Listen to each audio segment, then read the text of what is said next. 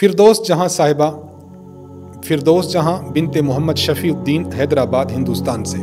आप सवाल करती हैं, अस्सलाम वालेकुम वरहमतुल्लाहि वबरकातुहू, वालेकुम अस्सलाम वरहमतुल्लाहि वबरकातुहू। मेरा सवाल यह है कि अगर रास्ते में तरकारी या मेवा पड़ा हुआ पाया जाए तो जिसका रास्ते में जिसका रास्ते में पड़े रहने की वजह से ज़ाय होने का अंदेशा हो, या कोई तरकारी और फल किसी बस या ऑटो में भूल कर चले जाएँ तो हमें उसका इस्तेमाल करना ठीक है या नहीं?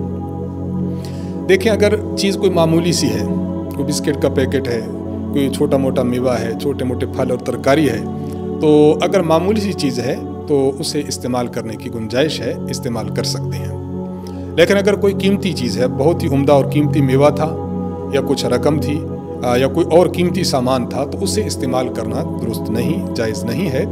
उसके लिए शरी हुक्म यह है कि अगर कोई बड़ी और कीमती चीज़ है तो उसका ऐलान किया जाए।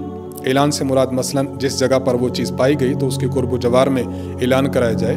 वहाँ पर वो लोग जो चलते फिरते हैं, जिनकी दुकानें हैं या कोई मार्केट है तो वहाँ पर कोई इश्तहार लगा दिया जाए कि ये चीज़ मिली है, अपना नंबर भी दे दिया जाए। अगर उसका मालिक मिल जाता है तो चीज़ वापस कर दी जाए, और अगर मालिक उसका नहीं मिलता तो इंसान अगर ख़ुद साहिब निसाब नहीं है, ज़क़़त का मुस्तक है तो इस माल को या इस चीज़ को जो मिली है, वो ख़ुद इस्तेमाल कर सकता है और अगर वो साहिब हैसियत है तो किसी गरीब को वो सदका कर दे। सदका करते हुए नीयत ये करे कि जिस शख्स की ये चीज़ है, ये उसकी जानब से मैं सदका कर रहा हूँ, इसका सवाब उसी को मिले।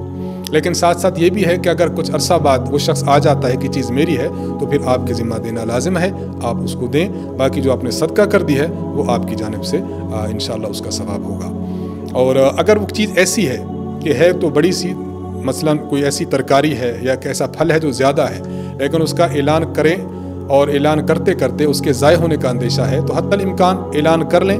अगर उसका कोई शख्स नहीं मिल रहा तो उसे जो तरतीब अर्ज़ कर दी गई है, उसके मुताबिक इस्तेमाल किया जा सकता है।